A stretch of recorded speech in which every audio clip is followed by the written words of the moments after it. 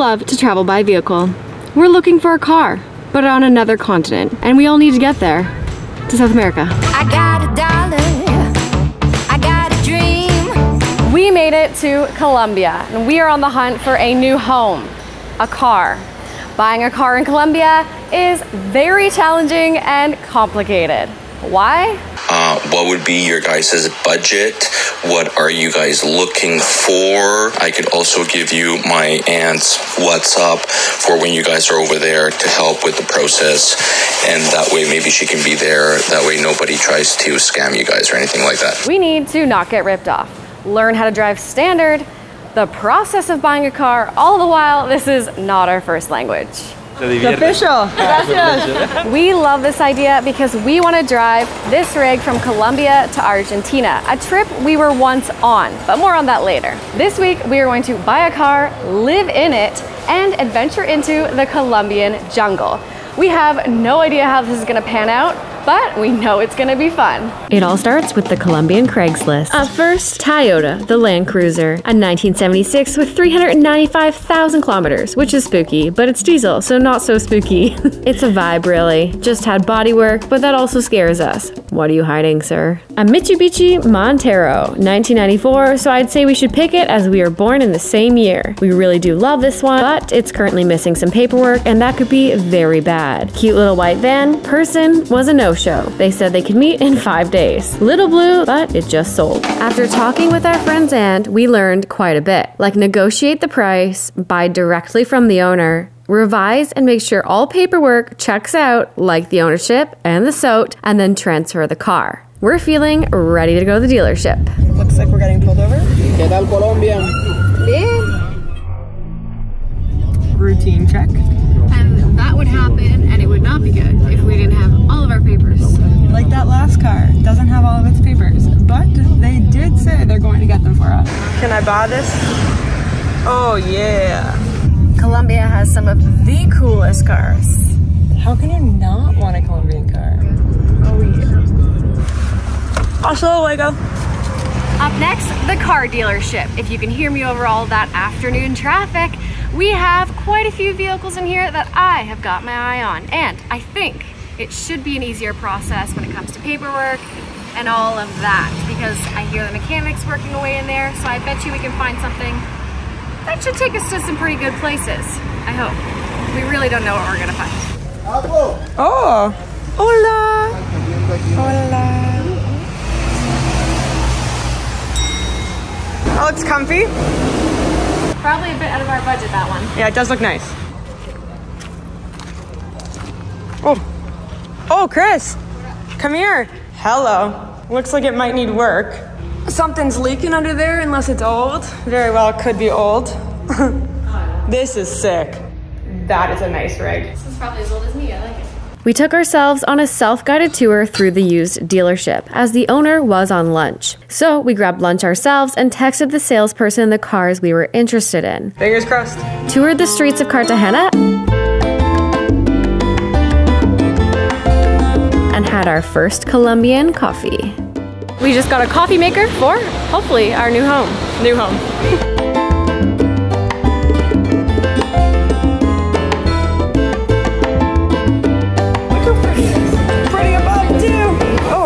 Starbucks. End of day one, finding a new home in Colombia. I wish I could tell you that I feel like we will find one and be driving out of here tonight, but I just don't quite confidently feel that's the case. We will definitely not be driving out of here tonight, but I am still hopeful we may find a home. I am really in love with the Mitsubishi one, The one that doesn't have the papers, everyone.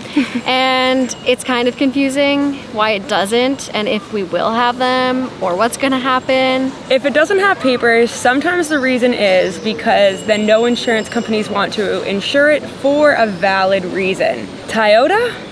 Love it, but 400,000 kilometers. It's seen the world. And will it wanna do it a second time? The dealership, on the other hand, still hasn't got back to us. For one day, I've learned a lot about what it means and how to buy a vehicle in Colombia. Retweet. a lot. And we've learned a lot of lingo and we now know what is necessary and how to avoid getting scammed. Kind of. You can Kind still get scammed. yeah, I have to say though, I'm very proud of you with your Spanish. thank you. It's a whole new- you too. But this is very fun and it does get me excited. We do have some good news though. We have a text from Mitsubishi. I can never say that word. Why am I buying this vehicle? Tell them the metaphor that Chicago used for you. I call them Chicago because that's where they're originally from. Um, key to Cartagena, be like the palm trees, near the beach, flexible and capable to resist the ebb and flow of extreme conditions. Unlike the rigid trees that are unable to do it and thus crack in half. We need to be patient. They confirmed that they ordered the SOAT or the SOAT and it will be activated by tomorrow. I mean, that, if it's true, is like the best news. Everyone cross your fingers.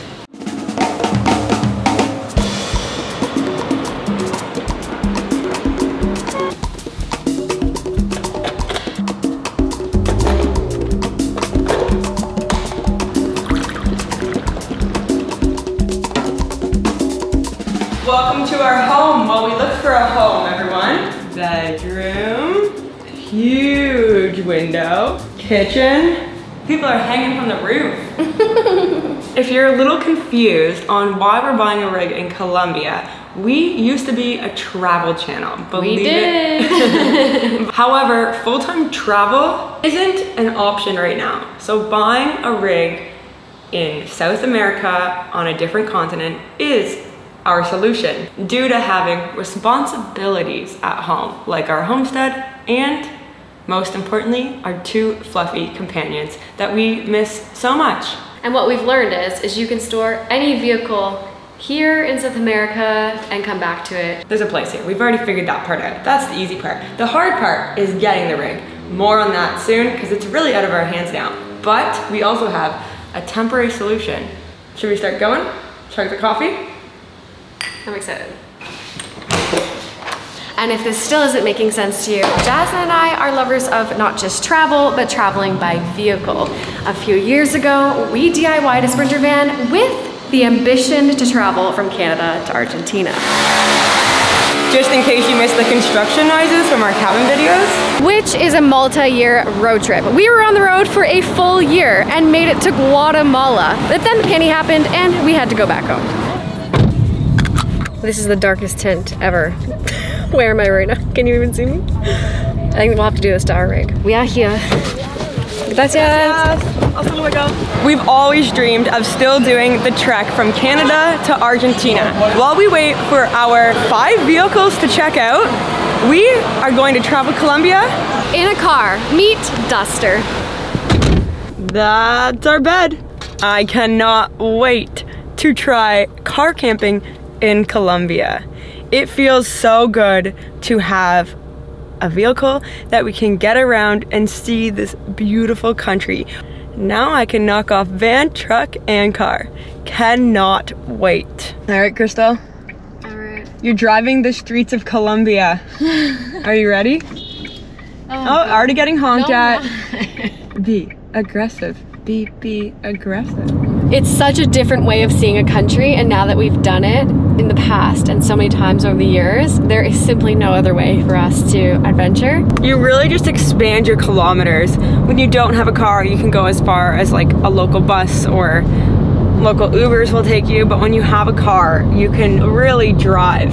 It's kind of like when you're a kid, you grow up and you can only go like up and down your driveway, then you get a bike, now you can go around the block. And then when you're 16, you can drive your guardian's car and your world just keeps getting bigger and bigger and bigger. Caring for our microbiome doesn't stop when we leave the cabin. Out here on the road, I've got my seed in my travel case. That is bacteria, baby. There is billions of billions of bacteria in these prebiotic and probiotic 53.6 billion AFU to be exact, which support overall health, not just with your gut and regularity, but all of these things are so interconnected. You didn't hear that? She was just letting you know that her poops are better Much better. I've actually struggled from a young age. with her poops. and although we often think that bacteria are scary, they are essential to our health, and even more so when we're out here traveling. I'm so happy to have this with us because we are in a new environment and consuming new things. Why do I need bacteria? Well, with two capsules a day of Seeds DS-01, you can experience digestive benefits like bloat relief, regularity, you know, like bowel movement, consistency, the thing no one wants to talk about that feels so damn good. There's nothing better than a good poop. I'll say the word. and all of the things that are connected to your gut, such as skin health and heart health. There is a two in one capsule technology in here, and they're offering you 25% off your first jar using code VANWIVES25. Click the link in the description and keep that gut healthy. Oh my god. In Colombia, it is an option. She stopped at a stop sign. It's quite freaky sometimes. So you really have to be alert. Krista just did that. Ay, ay, ay, ay, ay, ay, ay. and also, there are driving stipulations here. Depending on your license plate, you can drive at certain times in certain cities only. So with this car, on Thursday, we can't drive in the Centro. And how we know that is obviously who we rented the car from, but the app called Waze, which is super helpful because without that app, you wouldn't know. You put in your license plate and it really tells you what route you can take, which has been super helpful because we are going into the busy area of the city of Cartagena right now, as we are going to need some camping supplies. Should we ask our parking neighbor if they're selling their rig? We do love those Toyota Land Cruisers. I also just want to say that the first time driving in Colombia was quite a success. It's because you're seasoned. I actually thought I was going to be a lot more stressed out, but we're here. Do it! We just found the jackpot of all jackpots. Gelato. Camping. We had no idea if we'd be able to find any of this type of gear here. It's not easy to come by, but I think we've just found the jackpot. We love going to local grocery shops, grab a big bag of coffee. Let's check out the fresh fruit. If you've never had a granadilla, this is your sign to go find one and eat the best fruit ever. All right, that much closer to hitting the road, everyone. All we need is a propane tank, and then we are ready to set off far, far away from the city. Let's just hope we can find a propane tank because that's the start of making Crystal the happiest camper. this is Colombia. Oh yeah, motorbikes. We're leaving Cartagena and we're driving northeast to some rural areas. Also, just a quick little update on our cars. And um, just trying to be as cool as a palm tree over here. I hope you're all being palm trees as well. They are at the Mechanicos. We've been out of the city for probably two minutes and it's already just so calm So beautiful. and so beautiful. I have to remember with car camping, we do not have a bathroom in it. So when you have to go, you need to pull over. And this is what a typical bathroom looks like when you do pull over. The door is not gonna lock on me. We got lots of puddles here. Your sink, your bucket, to flush, and I guess this is to wash your hands as well. And there's no toilet paper. I forgot to bring my own. Oh, I had. I know we have some, but I, I'm out of the travel game, you know? We've been driving for about two hours and we've driven all through the countryside and every once in a while you roll through one of these small towns and Jaz and I were just saying like everyone's outside just in the fresh air, fully present, chatting, laughing, eating dinner. It's just like such a different world. Do you think this is what they call rush hour? 100%. Okay, as you can see, it's now nighttime. We just got stuck in rush hour traffic for about over an hour. So we are now headed right into Santa Marta and we're gonna lay our heads, heads down here tonight um, because the camp spot we want to go to is a little bit further out still, and honestly, it's not quite worth it not knowing exactly where we are going, what the roads are like. Imagine all of a sudden it was just mountainous. And I want our first car camping experience to be documented, and it's not going to be tonight. So don't worry, we're not car camping without you. Also, Yeah. We learned a lot in our in our overlanding days, and we have rules, and this is one of our rules. We're kind of breaking it right now. We're not supposed to be driving at night, so um, it's all coming back to us, you know? Luckily, the town is literally five minutes, and there are plenty of places to sleep. Good, driving. Good driving today. Our first fill up in the Duster is happening in Colombia right now. We are getting lleno corriente, which means full tank of gasolina. And fun fact, it is Colombia's oldest city where we are right now. Looks like the gasolina handle is red here. Are we there yet?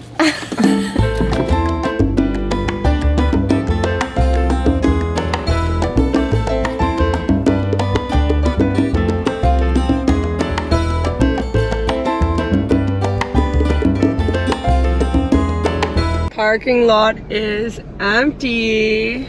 Oh, almost for the first ones. Little motorbike sped ahead.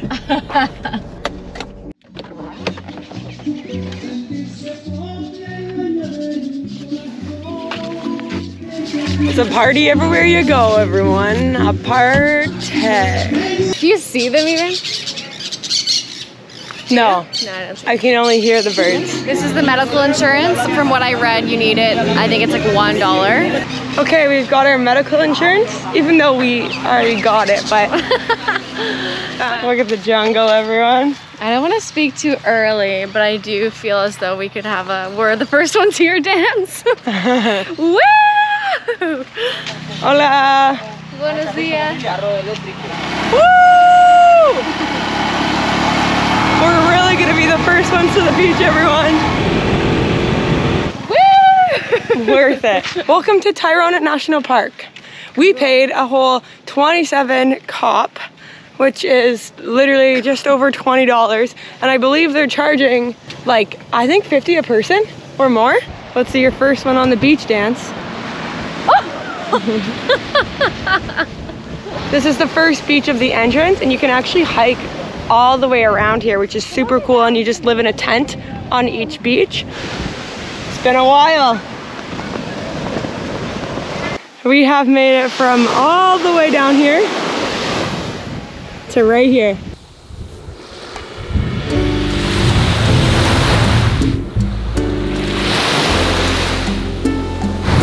This beach is so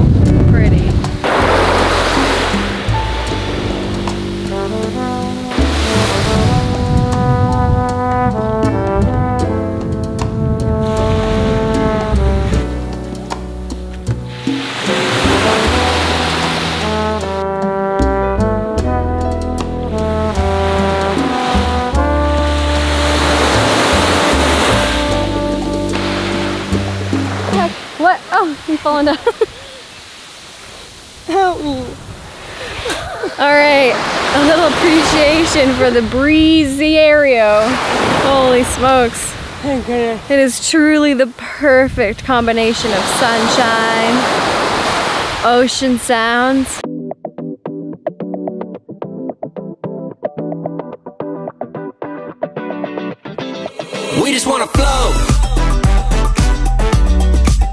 So nice. It is quite salty. We just wanna flow. All right, y'all. It's important to limit your sun time. I'm burning. Look at how busy it is down there. And then, bam. No one. However, I do have to say, this looks fun. And because you can't camp here, we have a beautiful camp in mind and we'll see you all there. Introducing Duster Wives. I didn't think much of it, you know, all the signs about the animals that you can see when you're here while we were driving. But now that we're parked, thinking a lot about those cheetahs and those spiders and those snakes. What about those snakes in this long grass that you're freaking out about? Yeah, you know, all those little guys, our friends tonight. Okay, time to set up our new home. Step one to car camping. Move all your belongings to the front. Okay, ready? Step two, hopefully the seats go flat. Slight ankle tonight. Turns out they don't go flat. Mattress one. How is it? I don't really fit. Oh, great. Just gonna sleep a little on an angle if you don't mind. Blanket. Hello. I can't help but take in that it is nothing but nature and the waves. First impressions of car camping? You have everything you need and not anything else. Saw my first friend. Hey, Millie. Oh, where are you going? That thing looks small, but it's about the size of a chapstick, and I know that that's on the smaller scale of the the millipedes, centipedes. I love just pulling up to these random, beautiful places and having no idea what kind of adventure is in store for us. You can see here, there's like an opening right here. We had to park right here because there are coconuts falling from the palm trees and you wouldn't want one of those to hit you in the head. This is Duster Wives, but in the palm woods. We're, we're in a different, different type of woods out here. Our second creature, can you hear it? Is a wild parrot. It's blue and yellow and it does not want to stop talking to us. So cool to see one of those in the wild. Crystal's obviously off chasing it. Everyone write in the comments. Thank you, Crystal Birdwatcher. I spent the last half an hour chasing this parrot. First parrot I've ever seen in my entire life. Loud and beautiful, as they should be.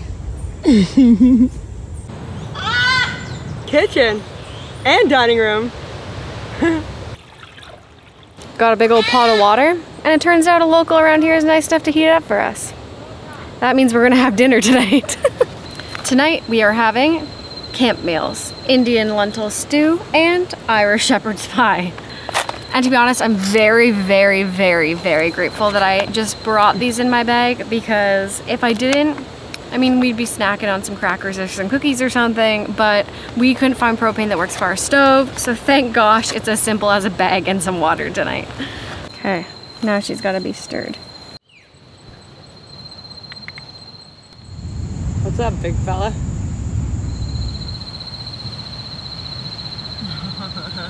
Dinner is ready. And I don't mean my dinner. I mean the no-see-ums and the mosquitoes dinner. me! oh yeah, there's one just eating me right now. Get it up you. Blood, everything. We're closing the back. We're not. I'm not. We should have discussed I'm not having a snake slither in here while I'm sleeping. Strangle me dead. You wake up. That's not gonna, Widowed. but not boiling to death. Spooky stories at night. That's good. I just had a sun-dried tomato in a bag. That was delicious. I would eat it again. It was that good. Like if you were home Yeah, like, with a full kitchen. yeah, I'd eat it again. Spicy We should have these when we build. We'd get so much protein. and flavorful. And yeah, full of protein, baby. Mm-hmm. And eating in the dark is funny because you never know what's gonna be on your bite. Nighttime routine. Back to the baby wipe showers.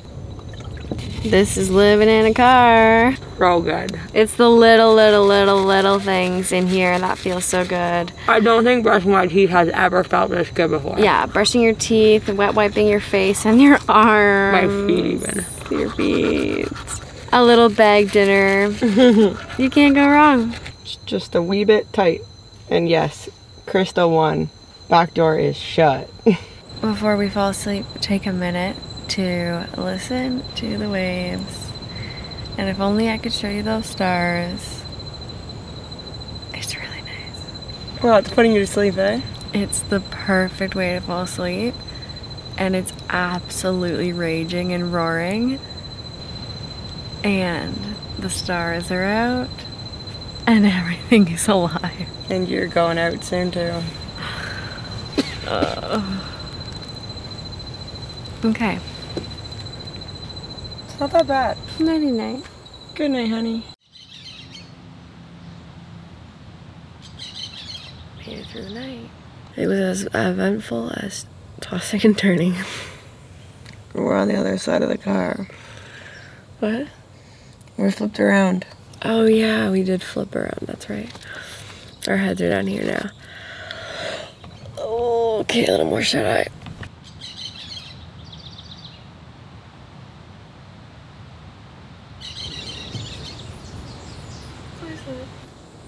Birds. They're everywhere. Oh, they might come in the car. Six o'clock. You wake early when you're in a vehicle, I think. Yeah, it's like tempting. Oh. Oh. Time to clean up the house.